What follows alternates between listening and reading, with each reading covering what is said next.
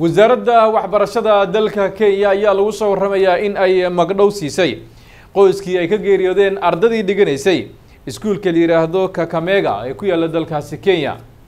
Zamzam cabdikariin jaamac ayaa warkan inooga soo dirtay magaalada nairobi xoghayaha wasaaradda waxbarashada ee dalka doctor belio kibson ayaa sheegay in wasaaradda ay garab taagan tahay qoyska ardaydii ku dhimatay musiibadii ka dhacday iskuulka kakamega. Wasaaradda waxbarashada dalka ayaa sheegtay in qoyskiiba la siin doono lacag magdhow ah oo gaaraysa boqol kun oo shilinka dalka ah. Waxa uu sheegay belio in ay wasaaradda waxbarashada ay ka xun tahay dhibka soo gaaray qoyska ay ka baxeen ardaydaasi. Afar iyo toban ka mid a ardayda ayaa shalay aas loogu sameeyey ismaamulka iyadoo ay murugo weyn ka muuqatay waalidiinta ardaydaasi. Nayla kifaranga oo ka mid ahayd ardaydii ku dhimatay isburaashadii ka dhacday dugsiga hoose dhexe ee kagamega ayaa loo sameeyey aas ku salaysan nidaamka islaamka. Dowladda dalka oo cambaaraysay isburaashada ka dhacday iskuulkaasi ayaa sheegay inay weli socdaan baaritaan inkastoo aan weli tallaabo deg deg ah la qaadin. Balse booliisku arrintaas warbixin ka qoray ayaa sheegay inay socdaan baaritaano dheeraada. Samsam cabdikariin jaamac soomaali cable magaalada nairobi